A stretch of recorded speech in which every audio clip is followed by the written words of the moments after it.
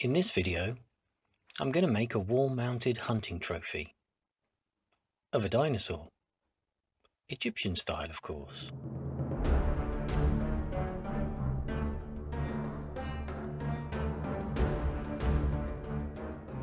I've been after a toy dinosaur that I can behead for quite a while and I finally found one at this fantastic attraction down in Wells called Wookey Hole.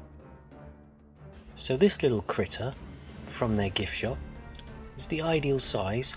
We've just got to decide what angle we're going to cut the head to make it look good when it's mounted. Viewer discretion advised. Although dealt with in a humane way according to RSP CPD guidelines, the following contains scenes some plastic dinosaur admirers may find disturbing. This fella is a Triceratops. And interestingly enough, despite how mean he looks, they were a uh, plant eaters, they were herbivores. The big horns were for defense against its natural predator, which was Tyrannosaurus rex as they lived in the same time period. To make his mounting shield, I'm using some offcuts of my faux wood effect, which I'll put the link in the top corner there so you can see how that's made. So, I've cut a shield shape out of a piece of paper It'll fit on the bit of faux scrap that we've got and I'm just going to put the dinosaur on to check the look of that, see if that looks okay. And yep, I think that looks really good. So now let's uh, let's cut out the faux wood to that shape.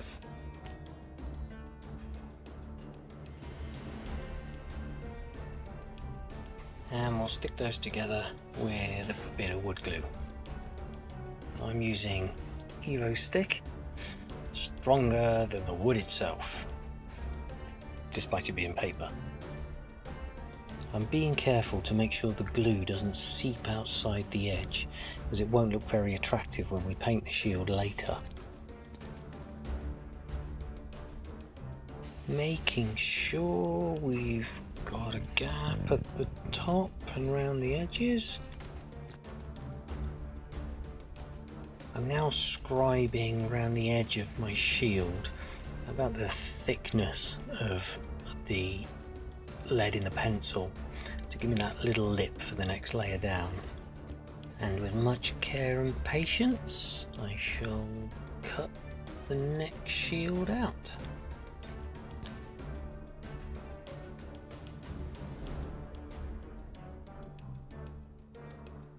There we go. That's looking quite good. I think I'll just get a um, about a 240 grit sandpaper just to uh, rub off those little tatty bits of paper edging. And finally, the last layer, we'll just line that up and hopefully there's enough edge to give us another little lip.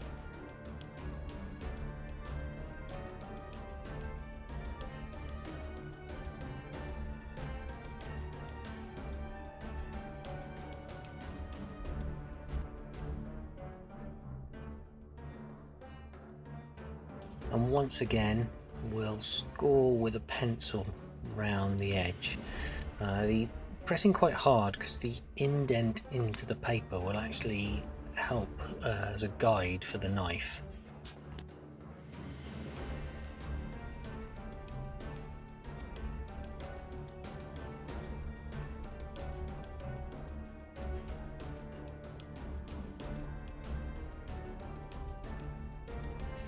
Carefully along the top.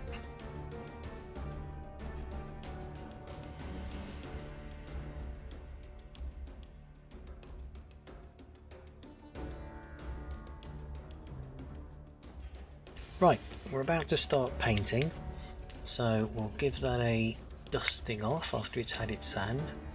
Always good idea to have some makeup brushes on hand, by the way, for this kind of work. But before we do, Let's just get our head in and put it in place for an initial judgment. Yeah, that's looking quite good. So we're going to paint some stain along the edge where you can see the white paper. I'm using a mahogany silk stain as it seems to be most shields are made out of mahogany. After letting that dry we'll give it a, a sanding before we add the next layer of varnish which I'm going to use an antique pine over the top of that.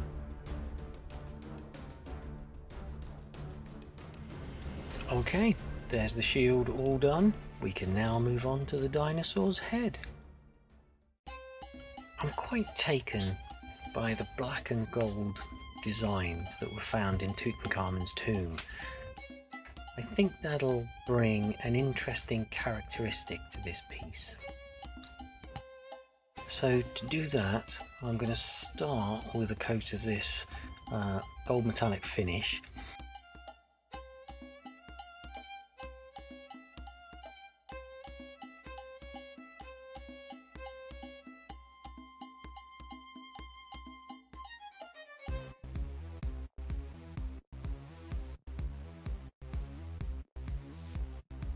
I think that looks absolutely fantastic. So I'm going to use antique pine varnish to see if it'll accentuate all the crevices but still retain that gold effect.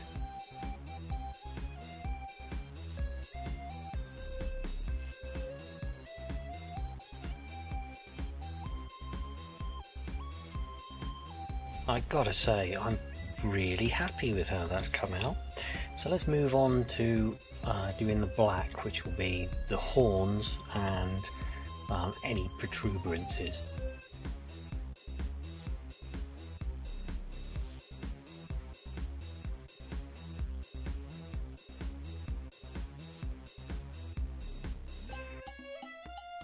And finally, to top it all, I'm going to use a clear gloss varnish over everything.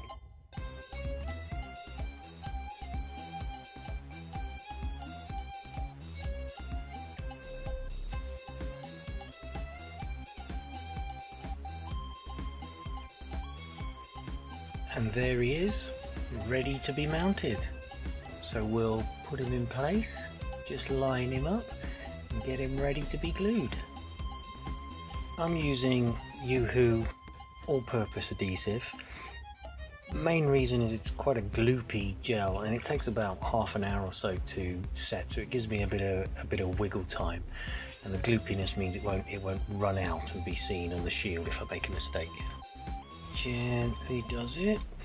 A few minor tweaks here and there just so we get this in exactly the right position we want. And there we have it, an Egyptian style dino head trophy. So there's nothing left to do but mount it on the wall.